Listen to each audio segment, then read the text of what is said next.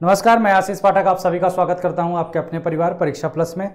NTA के द्वारा कराया जला विश्व भारती का एग्ज़ाम डेट आ चुका है, जो बच्चे तैयारी कर रहे हैं, वो एकदम अपना रिवीजन स्टार्ट कर दें।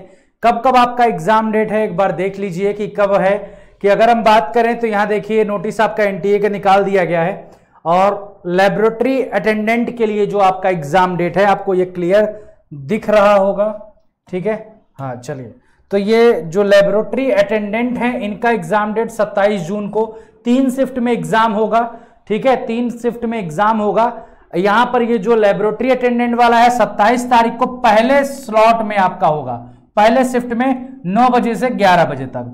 फिर जो आपका लोअर डिवीज़न क्लर्क सबसे ज़्यादा बच्चे इसके पूछ रहे थे तो ये 27 जून को भी है, कब है? दूसरे स्लॉट में है और तीसरे स्लॉट में है। 27 जून को, एक से तीन और साढ़े चार से साढ़े छह बजे में। फिर 28 जून को स्लॉट वन में है सिर्फ़, ठीक है?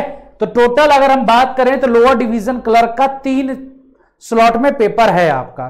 पहले 27 तारीख को दो स्लॉट हो जाएगा और 28 को पहला स्लॉट होगा। मल्टीटास्किंग जो स्टाफ है एमटीएस इसका 28 जून से लेकर 3 जुलाई तक चलेगा। ठीक है? इसमें आपका अगर हम बात करें तो स्लॉट दो और स्लॉट तीन में एग्ज़ाम 28 तारीख को होगा। 28 तारीख को पहला स्लॉट आपका इसका हो गया, लोअर डिवीज़न का। तो जो दो स्लॉट बचे हैं आपके दूसरे और तीसरे, वो एमटीएस का एग्ज़ाम होगा।